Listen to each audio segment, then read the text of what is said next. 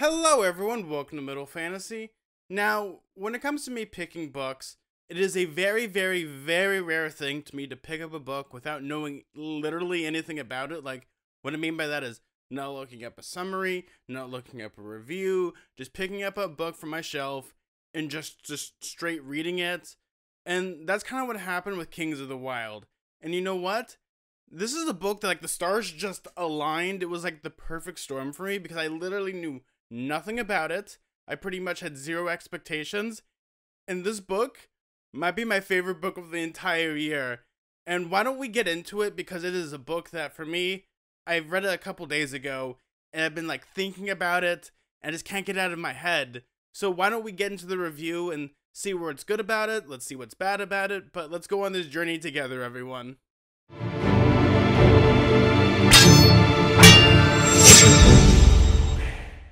So, Kings of the Wyld is written by Nicholas Eames, and it's actually his debut novel. And it is such a strong debut novel compared to other authors that I've read. Like, this is like it hits the ground running, but at the same time, it's very honest in what it's trying to do. Now, if I wanted to give like the summary of this book, quintessentially what it is, is just imagine like this legendary band of mercenaries that pretty much, you know, killed dragons, slayed mermaids, um, you know, killed gorgons and everything around the gambit from like goblins to everything. And after a while of them getting a little older, maybe even a couple of them having kids, they decided we're going to disband. And this pretty much takes place 20 years after them being disbanded. And they've all gotten horribly old, they've all gotten horribly schlubby, and they're all screw ups. But we follow the main character of Clay Cooper, who out of all of them is like the pretty much like middle class dude. He has his job, he has a daughter, he has a wife and pretty much what happens is like their front man who was like the leader of their band like needs help on pretty much like a suicide mission because his daughter was trying to follow into his footsteps and she got caught in a bad situation which pretty much is like you the only way to actually solve the problem is to get the old band back together and do a near suicide mission to save her from a terrible siege with thousands upon thousands of monsters now, on the surface, that sounds like such a run of the mill type of story. It's like, okay, this is pretty much like a road trip story or like get the band back together. But for people that have read this before and they're looking for ways to like explain it to people on how to like get them to read it, or maybe you're looking for a good hook, basically, the story is just imagine like a bunch of friends that played D&D in like the 80s and they all got like level 20 characters and they decided, you know what? After a while, we, you know, we're, we're getting girlfriends, we're leaving to like college and stuff. And after 20 years, they all decide to come back together and play one more game with all their 20 level characters. And they're all a bunch of like schlubs and screw ups. And they still decide to use their characters and just wackiness ensues. Now, the other way that I thought of the story is if the person that you're trying to get to read this book or you're trying to read this book and you like like heavy metal music just imagine like a hardcore heavy metal band you know they disbanded like they had their breakup but then 20 years later they decide we're going to play at the state fair and we're going to kick butt. But none of them have changed but all of them are pretty much have just gotten older but yet they still think like they're in their 20s that's pretty much the story. Now i love how the story is actually written out. It's kind of like one part you would think of it almost like the journey beats the destination like the road trip but that's not really the story. The core theme of this, if you're trying to read this, is think of it more as a story about generations because when you read the story, it's more about fatherhood and pretty much like, you know, you're getting older and these new people are coming in to prove themselves. What do you do in that situation? And I found that to be one of the strong engaging things about it because I was like feeling for these characters, even though a bunch of them are terrible, awful people, you just like you find sympathy with them because you see like, yeah, they have it pretty bad and you have like that sympathizing nature to them. And one of the things that's so outstanding about this book, if you want to read this, if you like books about character, every one of the characters you follow within the band saga, which is the you know this legendary band, they're all so distinct. Like you have you know the wizard Moog, you have like Gabriel, who's like the front man, you have Clay Cooper, who's almost like the paladin, or he's just like the overall just fighter. You have Ganelon, who's pretty much the bloodthirsty killer, and so on and so forth.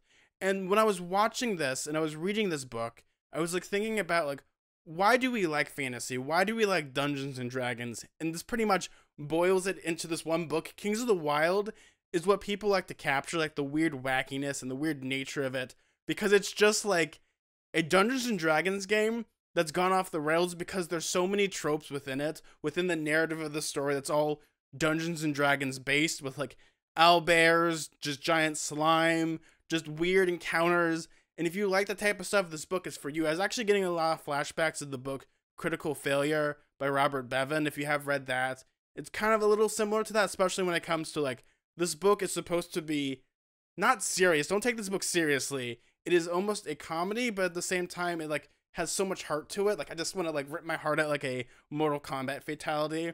That when you read it, you'll understand that it's trying to be like a very honest depiction of like what fatherhood really means and what it means to get older. It's again, there's like this generational thing as well as like this age thing that I found to be so good in this book. Now, I do have one criticism for this book, and that is if you're looking for a book that has a very strong world building and magic system, you're not going to get it here. This is the type of book, again, it plays by Dungeons and Dragons rules. Magic is supposed to do cool things. It doesn't really have to have like rules and stuff. It's very soft magic in a way of just magic can do what magic needs to do for the story.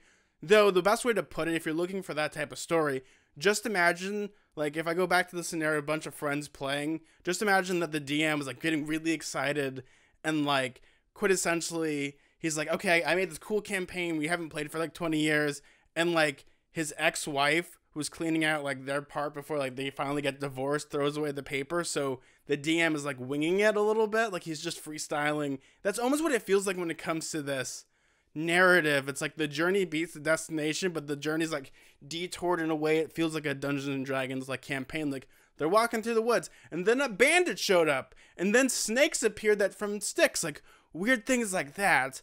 And if you're looking for stories that are just like you just have to go along for the ride, you'll enjoy this. For me, I like that, but at the same time, when you're trying to get to point A to point B, like, okay, we have to go to this place, but they keep detouring in weird places, is was like, oh god, this is this is bad. And also when it comes to it, there's like weird time skips that happen that's like, okay, how many weeks uh, passed by? Wait, what's going on? Huh? Again, like it feels like a D&D campaign where the DM is just freestyling it. Maybe that's like the point a little bit, but if you can't get past that a little bit, you might have a hard time reading the story if you're like, okay, they've set up a lot of things, and every time like, okay, this is what they're gonna do for this. No, that's not it's gonna do. Okay, they're gonna do this. No, that's not how it's gonna do and they kind of got a little annoying, but at the end of the day, maybe that's kind of the charm of the book a little bit is that you have almost that Dungeons and Dragons feel in a narrative where you have a bunch of people that are doing some of the most outrageous shit that I've ever seen in a book. Like there's like one cop out that I loved more. Like I was like disappointed. It's like they hype up like this mythical creature and then they meet it and like, oh, we're gonna have this big old battle scene and then they kill it off screen. You're like, what? No, that's dumb. Like I want to see them fight this thing. But then like that's the joke. Like if you don't like that type of stuff, you might not like this book a little bit. Now this is a very light-hearted adventure story. It's almost as if like Joe Abercrombie for two seconds got bitten by the corpse of Terry Pratchett, and during a full moon he would turn into Terry Pratchett almost. And like that's almost the book that we get with like Kings of the Wyld. You get like a Where Pratchett almost, where it's you know it's very comedic. It can be very serious at times, and that's what I like about it. I mean, it has so many great jokes and comebacks. Like I think the strongest thing that the author does is the conversations. Like the most interesting stuff that happens is just people talking in a room instead of like the sword and sorcery and like people like hitting the things with like swords. That isn't the narrative of the story. The story is like this relationship between these bands of people. And the only other person that I've ever laughed so hard reading a book is actually Scott Lynch when he does his comebacks and his witty observations in The Gentleman Bastards. Like, if you're looking for some of the funniest comebacks or like people's responses, this is the type of story for you because there are moments where I put down the book and laughed.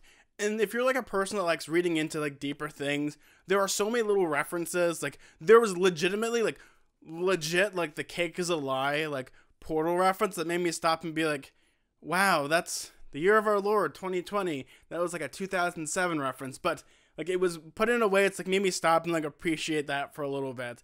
And that's what made this story so strong. I wouldn't be surprised if I'm going off of like the music analogy a little bit if every person in this band like of Saga is actually based off a musician. Like Gabe strangely reminded me a lot of like early Ozzy Osbourne, or maybe even like Clay Cooper being like David Brockie from GWAR a little bit when it comes to their personalities. Like even when it comes to like their Wizard Moog, he reminded me a lot of like probably Freddie Mercury in many ways. Like there's a lot of things when it comes to the story. Like if you notice little things, you'll appreciate it more. And at the end of the day, this is the book that's actually now a series, and I plan on reading more of them and talking about them more in the future. And that's kind of the thing about it. That's the charm of it is it it ended in a way that felt so satisfying that I don't need to continue. But at the same time, I want to be more into this world and explore it. Even though it's like you're not really thrown into this world and like you want to like live in it, you're just like this is so cool and so neat and so different from the fantasy that I'm reading right now that is totally worth the read. Check it out. That's pretty much my review for it. Well, thank you all so much for watching this amazing video.